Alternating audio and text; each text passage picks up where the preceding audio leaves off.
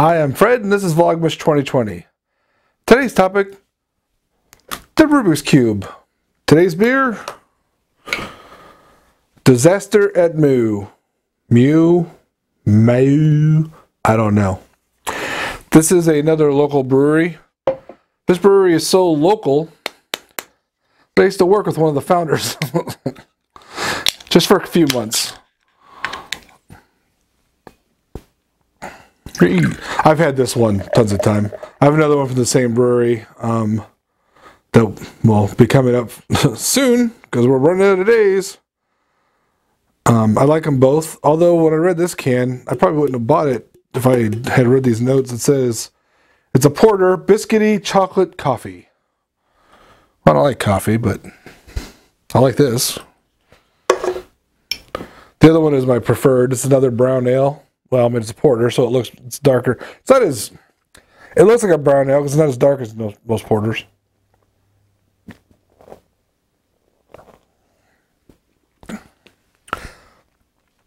Yeah, it's got a bit of a.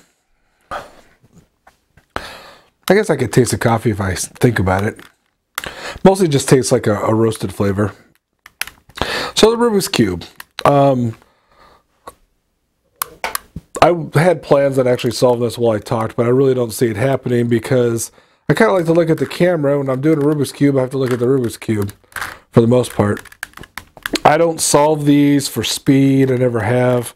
Um, in the olden days, I had one of the original ones I got from my aunt that I used to. Uh, some people would take the stickers off, which is why these are no longer stickers, they're actually plastic pieces. But that is not what I did. That one was so old it would fall apart. You could just kind of like twist it this way and pop this off, and then take all the pieces off. And you just put it back together as one whole thing.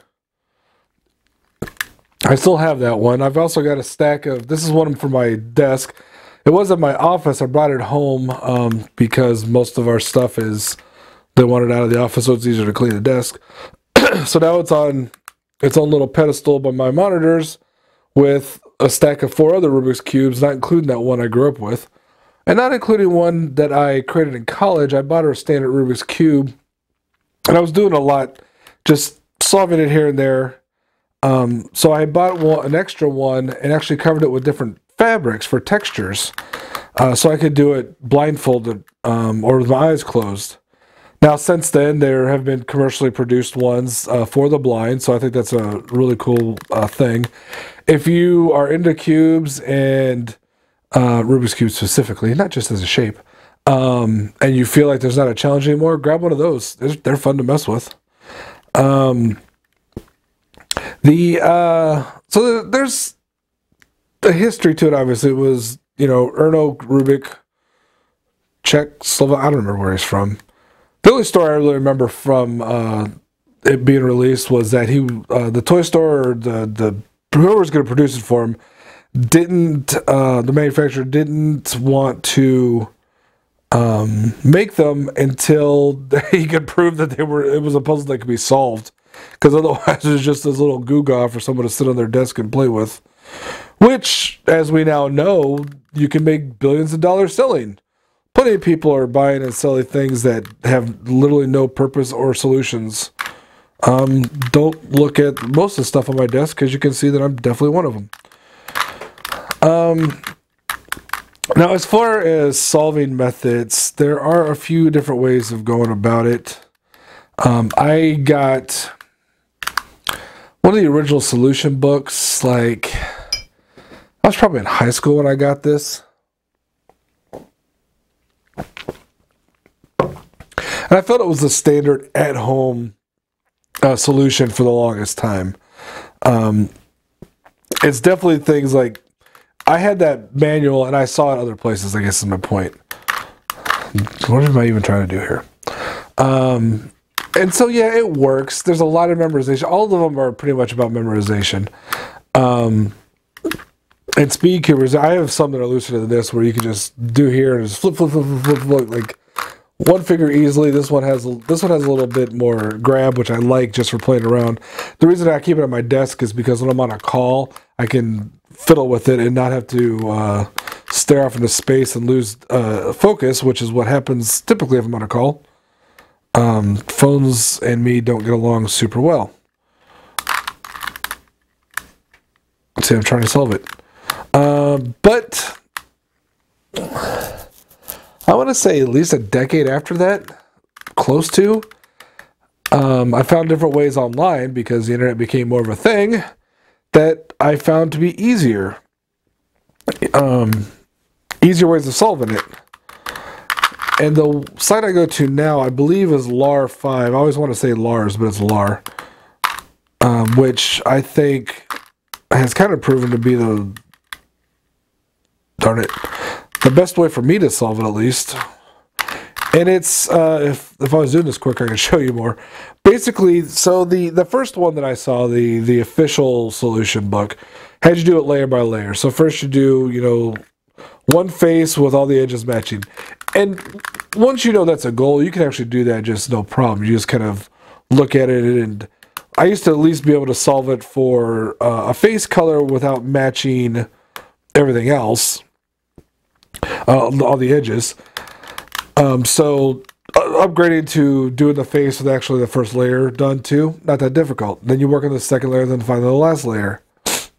Uh, the method I like now, you actually start with just a corner. And so you do the four by four by four, the, the three sides with uh, fours, solve that. Then you get a chunk of it. So you get these uh, quote unquote 12 cube mini cubes done. They're, they're obviously you don't have the center one. The center one's a free space, like in bingo. And then uh, from there, you end up solving the two levels. Then the top layer is actually pretty much the same way. And my approach is I don't ever want to do speed. So the memorization you always have to do, you have to do uh, mirrors because you can be on left or the right and the different ways you have to spin things. The way I found it to make it easier so I could pick up a cube and solve it usually um, last time I did this, which was a couple days ago, I actually messed it up. Uh, there's one or two steps near the end. I always get confused in my head. Um, but if you ignore the fact that there's the reverse images and try to do it the quickest way, there's like five or six steps you have to remember, and the motions you need to remember are very few. The first several steps, there's no memorization at all. You're just kind of looking at it and figuring it out. So what I've got here is I'm working on the white side. So I've got from white down to blue done and white down to orange done. And I'm trying to get this corner with the blue, orange, the blue, white, and orange. And I, because I'm talking while doing it, I can't get them to line up properly. Oops. Um, nope, that wasn't it. I started with a point. Oh, so those parts are easy. So then when you get down to the uh, the next part, the, the part that starts getting hard is when you've got the band all the way through that that 12 section. Um, in order to get the the rest of the pieces, side pieces flipped around right, you have to remember a different thing. And that was a fairly quick move. It's just like three or four moves. Wait, three. That's uh, one, two, three. Yeah, four, I think. Um, and then after that, you have to remember a couple complicated moves. But the thing of it is, because the cube is rotational, you can go through and do the same uh, set of moves twice to get the same effect as if you did the reverse moves once. I don't, I'm not going for speed, so I have no problem double doubling moves just to get it done. And typically, I would be able to get this done, you know, within the time allotted here. Uh, sometimes my son, I both my kids have one. My daughter may not have hers anymore. My son will bring his out and mess it up specifically, so I will solve it. Nope, see, you can't do that either.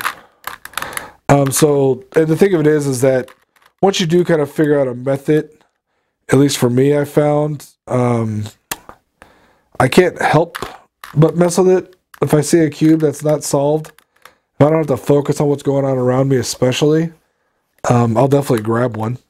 I've been at like doctor's visits with my kids, and there's an unsolved Rubik's cube sitting there, and I picked it up while we were talking. and solved it before we left. So I mean, it's just it is a puzzle, but I think for me more than anything, it's a old school fidget spinner. It's just something to play with, and you can spin it. See, there we go. Whee! Um, yeah, there's no way I'm solving that. I'll I'll have it done uh, probably before I uh, shut everything down. Um, that's it. Rubik's cube. It's just something I like. I don't. When I was writing up topics, it was sitting on my desk, so I just grabbed it and went. Oh, oh, I was like, I screwed something up already. All right, let's see. I don't think I have enough time. Let's see how far. We'll have a little quiet time as I try to solve this.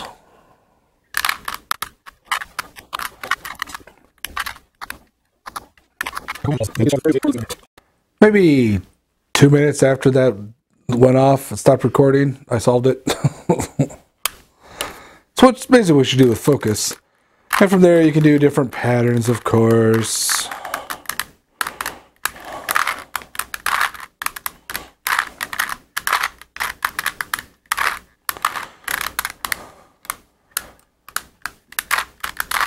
I found out um, as a kid, as long as you kind of do everything in pairs, you can easily bring it back to uh, where you started from.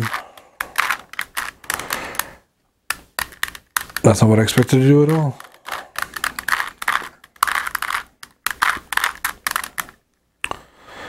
This little flower pattern, as I always thought of it, was kind of my favorite. So it was easy enough to do. and bring it right back. There's also the full checkerboard, which I feel is like the easiest pattern and a fun one for kids especially to work on. So anyway, thanks for sticking around for my ruminations on the Rubik's Cube.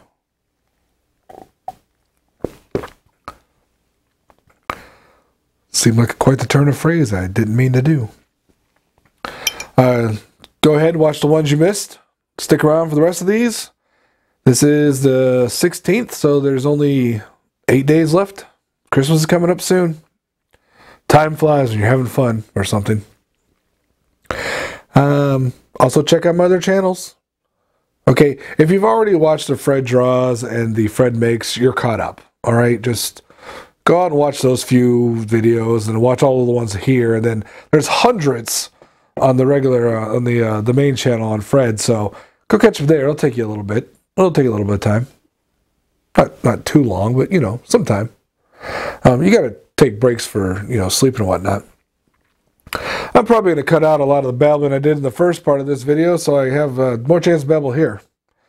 I didn't look up any more uh, uh, toasts, so uh, I don't know. Salute.